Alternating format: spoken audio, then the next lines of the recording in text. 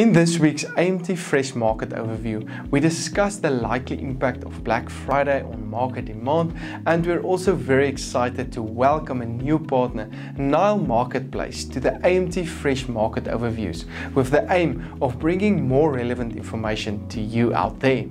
All in this week's episode, so make sure to stay tuned. This outlook is made possible by Standard Bank, that plays a crucial role across the full agribusiness value chain from what happens on the farm and beyond the farm gate, right up to when the farm's product reaches the retailer shelves. Because of this, they understand the full agriculture ecosystem and the trends and risks across the sector. And they're able to give guidance on the right finance, insurance, and working capital solutions at every stage. Standard Bank, it can be. I'm Johnny van der Merwe and welcome to this week's Fresh Market Overview made possible by Standard Bank and Nile Marketplace. The latest economic indicators are as follows. The rand dollar exchange rate strengthened to 15 rand 37 while the Brent crude oil price stayed in its upward trend since the start of the month on $46.57 per barrel. But with that said, let's see what happened to the latest vegetable prices the past week. We're approaching Black Friday, which is expected to have a negative effect on the market as consumers in general tend to focus more on electronic and liquor specials over this period. We therefore expect demand to remain very weak on the markets this week. The potato price traded 14% lower than last week on 51 rand 55 per 10 kilogram bag, with higher supply levels still driving this price downward. Volumes are likely to be lower this week, with many producers reporting lower yields than normal. But limited demand can result in prices to trade sideways rather than up. Quality, however, remains an issue for producers in this market.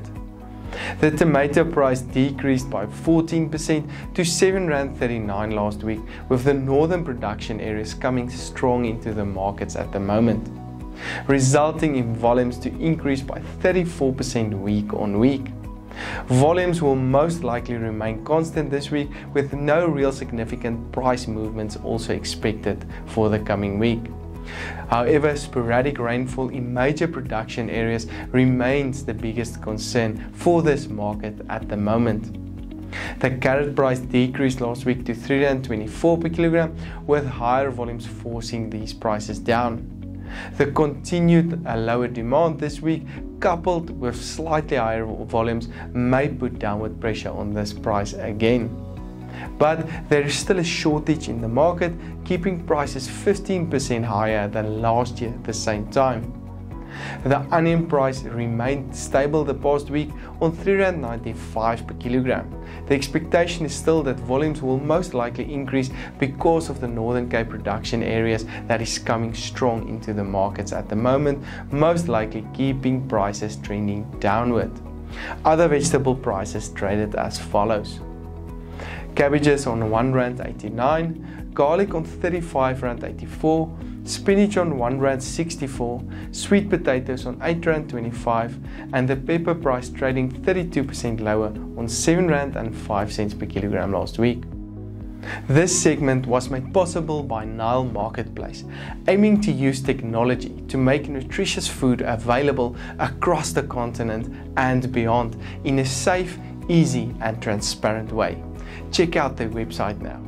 Looking into the fruit market, the past Monday was considered as one of the most quiet Mondays in terms of demand, which can partly be blamed on Black Friday at demand, pulling demand away from the fresh markets. Last week, banana prices decreased by 14% to 734, with higher volumes putting pressure on this price. Banana volumes are steady for the moment, meaning prices can trend sideways this week. Apple and pear prices increased on the back of low volumes last week to 8 rand 58 and 10 rand 66 respectively. Weak demand this week can result in these prices to trend sideways.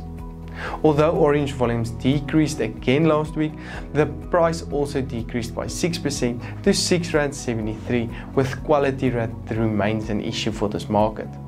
The avocado price remained stable last week on 28 rand 47 per kilogram due to very limited demand, but very low volumes and high quality will keep these prices supported.